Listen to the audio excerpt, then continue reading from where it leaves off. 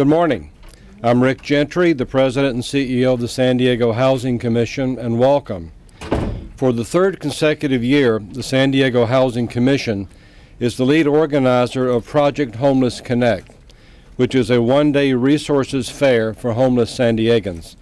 Project Homeless Connect will occur on January the 30th at Golden Hall at the Community Concourse behind City Hall. Our major organizing partners for this event are Family Health Centers of San Diego, St. Vincent de Paul Villages, and the Interfaith Shelter Network. At last year's event in 2012, we helped some 941 individuals, including 112 children. Among the services that these individuals received were health evaluations, clothing donations, haircuts, and a number of other personal services that are not otherwise available to them.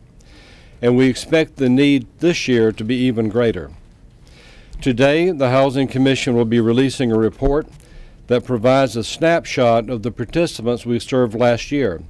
And this is a good indication of who will be walking through the doors of Project Homeless Connect in just a few weeks. And let me give you just a few facts based on that, this report that caught, caught my attention this morning. More than 70% of the participants last year were between the ages of 41 and 70 years of age. Males accounted for 67% of those we served, women 33%. Non minorities made up 45% of the population group, followed by African Americans at 25% and Hispanic Americans at 19%.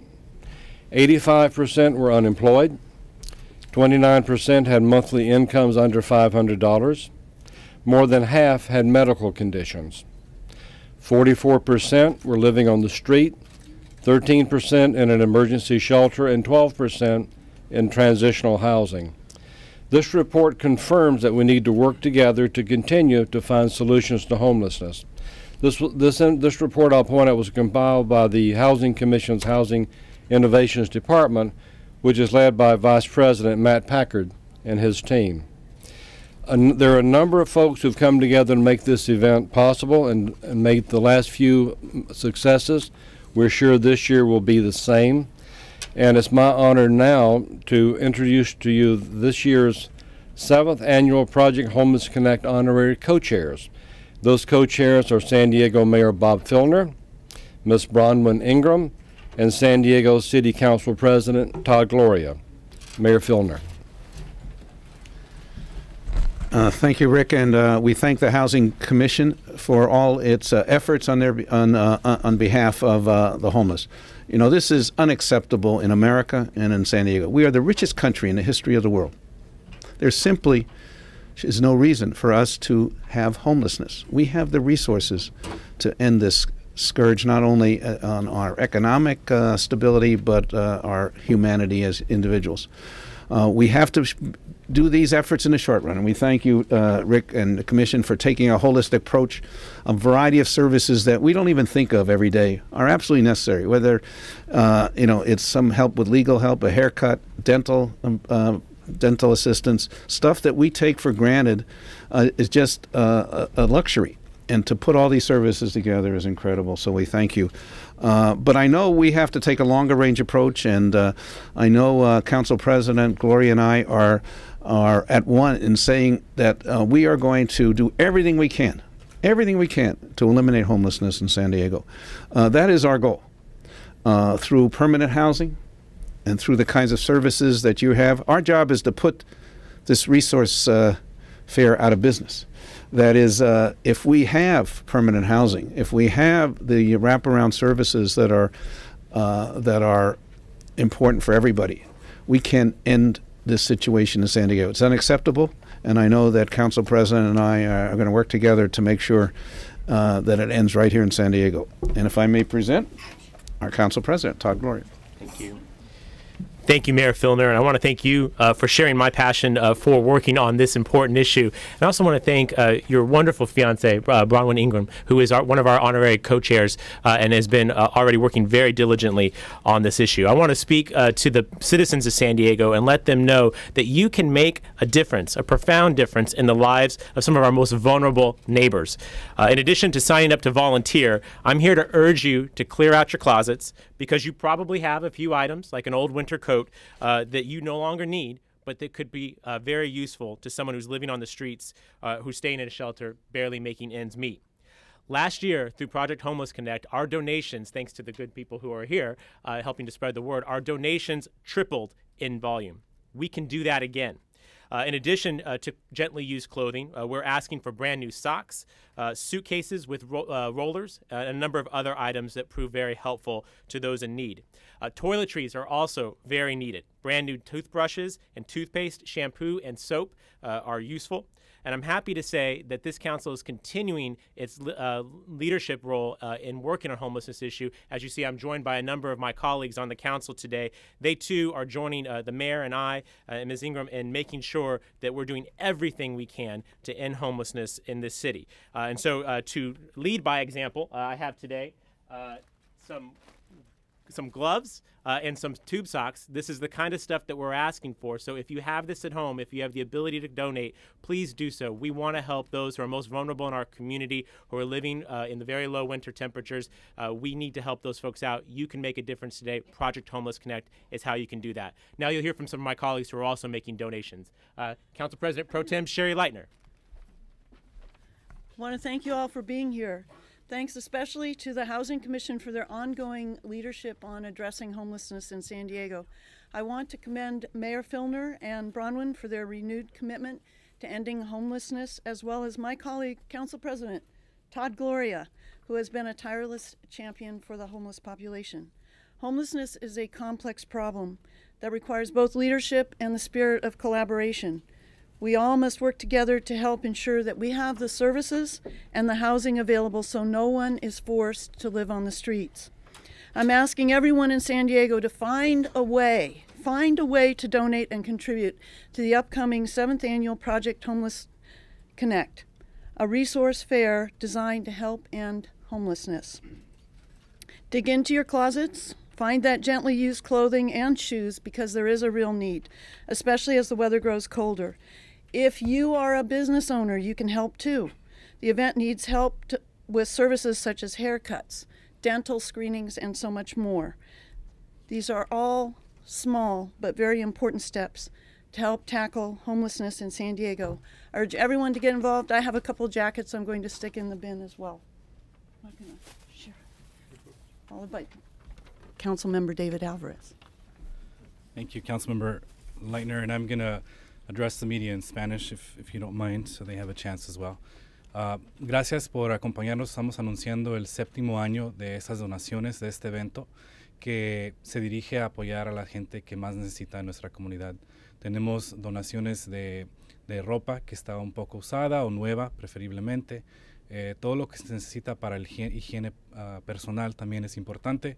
Así que les pedimos a todos que por favor apoyen eh, este evento el día 30 de enero y todos traemos un poquito, todos los miembros del Cabildo traemos un poco para compartir y sabemos que la gente de la comunidad también quiere compartir y ayudar.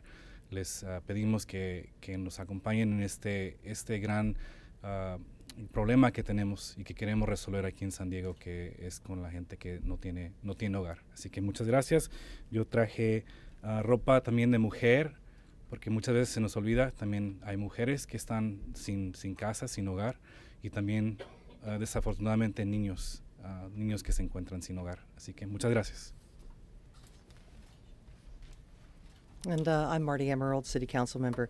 Um, it occurred to me standing in line. This is uh, this week, 27 years ago. I went out on the street uh, as part of a, an investigative story I was doing to find out what it was like to be a homeless woman in San Diego. And uh, it was one of the more profound experiences of my life. And now, fast forward 27 years, and I find that the problems are very much the same as they were then. The numbers are very much the same. And uh, the obstacles to overcoming homelessness are very much the same. Uh, what's different is in the last few years in particular, uh, the city uh, in, in, its many departments, whether it's the council, whether it's the housing commission, our police department, our uh, fire rescue, uh, has come together with a new resolve to address homelessness. Uh, we have a new transitional center that will be opening soon. Uh, we have uh, teams uh, on the street uh, contacting uh, homeless men and women to see how we can be helpful and get them into shelters. And we have these annual events sponsored by the Housing Commission and many nonprofit groups that understand that if we can give a person a hand up, not necessarily a handout, but a hand up it can make all the difference in the world. Just being noticed, uh, just the sense that somebody cares about you as a human being, uh, can instill some inspiration and uh, uh for a person who's been down and out. Uh, the biggest problem facing homeless, uh, of course, there's the mental illness, which is a profound problem in the homeless population, but the sense of being invisible. And what we're saying to the homeless men and women among us uh, is you are not invisible. You do count. And what happens to you is important, not just to you, but to each and every one of us because we are all impacted by the problem of homelessness. So uh, we ask everyone between now and January 30th find a way that you can make a difference, that you can offer a hand up. And, and please follow through and do it. Whether it's a donation of clothing or toiletries or uh, a donation of your time and talent at the event itself. Uh, coming together as a community is, I believe, the only way we're going to fully address this problem and resolve this problem of homelessness in San Diego. So give, give from your heart, give fully, and uh, thank you for your participation in making a difference. And now, Mark Kersey from the District uh, 5 Council Office.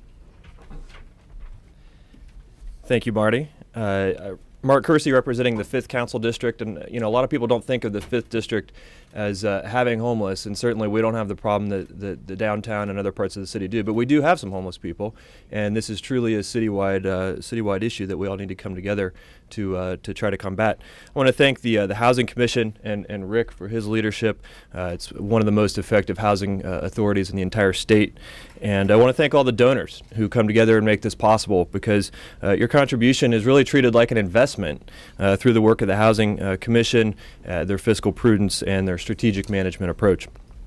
I want to thank the organizations uh, that partner with the Housing Commission, including the Family Health Centers of San Diego, St. Vincent de Paul Village, and the Interfaith uh, Shelter Network as well. I want to thank the mayor and, uh, and my colleague Todd Gloria uh, for serving as the honorary co-chairs of this event and for their leadership on this, uh, this very important issue to all of us. Uh, and you know, Project Homeless Connect represents a new, better approach uh, to solving the challenge of homelessness. Uh, we work not only to get people off the streets, back to self-sufficiency, uh, but also to learn more and to identify ways that we can proactively move forward. Uh, the survey research that, that this project conducts uh, is one such invaluable tool. The data allows us to provide resources effectively and to, to build a preventative approach. I look forward to working in partnership with the leaders that you see before you here today. Uh, and we have to because San Diego's most vulnerable individuals uh, and families are counting on us. So thank you all very much.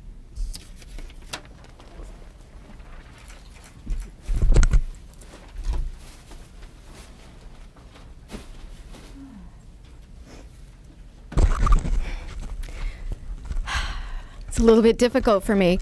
Um, our, our staff um, all came together, and each and every one of us uh, went through our, our closets and and looking for anything that we could um, donate. And my staff has been terrific. We have many bags, many, many bags. But for me, over the weekend, um, I started going through uh, my sister's belongings, and um, she passed away a few months ago. She lived in the Reno Tahoe area, so I knew she would have a lot of warm jackets and gloves, mittens, scarves, and lots of things that people need uh, during the winter. So I spent a very difficult day yesterday finally going through her belongings, and washing them and, and getting them pre- prepared for today, I didn't really realize uh, the impact it would have on me. Um, she suffered from mental illness. Um, my sister had some um, mental behavioral problems and sometimes perilously close to living on the street. And so I thought, what, um, what better honor for her and her clothing than uh, to bring it to the people who need it. There's a lot more to come. I've promised a lot to a battered women's shelter, and a lot of her belongings will be going there as well. But this really was finally the impetus for me to get in and get through it. And um, thank you. And I, I, I, hope it goes to some. Um, I know it will go to um, a lot of uh, worthy people. And one thing I would ask I know you've been asked to look through and look for belongings, but um, as we were standing outside here, I thought, wouldn't it be awesome for somebody who does manicures? I need one myself, and, and pedicures uh, to come and pamper some of these people who really just don't get to ever have a manicure. And, uh, you know, just having some nice nails, I know the occasion I do it makes you feel really good. So if you're somebody who can do that, uh, that would be terrific to come down and, and just really show that special love and caring uh, to some people who really need it. Thank you. Oh, staff, can you bring? We've got Alex. Thank you. We've got a bunch of stuff. They're Forever 21 bags. Uh, that's for my kids. Yeah, the shopping for my kids. Somebody said I should be shopping at Forever 41. if if they would open that up, I'll I'll be there.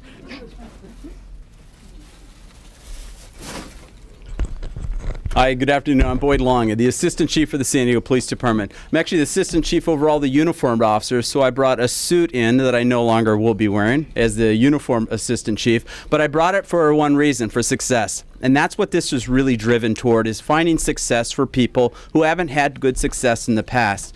And I got to thank the Housing Commission, our mayor for his forward thinking on this and making it a chance for people to become successful. That's what helping the homeless is about. Last year, I had the chance to go through the Project Connection also and walk through and look at the faces of the people that were there. And I have to say, it is such a rewarding experience to see people getting offered help. And it's most rewarding to see them taking that help and then going on to do something very constructive with their lives. So, again, thank you to the Housing Commission, Rick, and your team, and thank you to our mayor for his leadership uh, in this very, very important area. Thank you.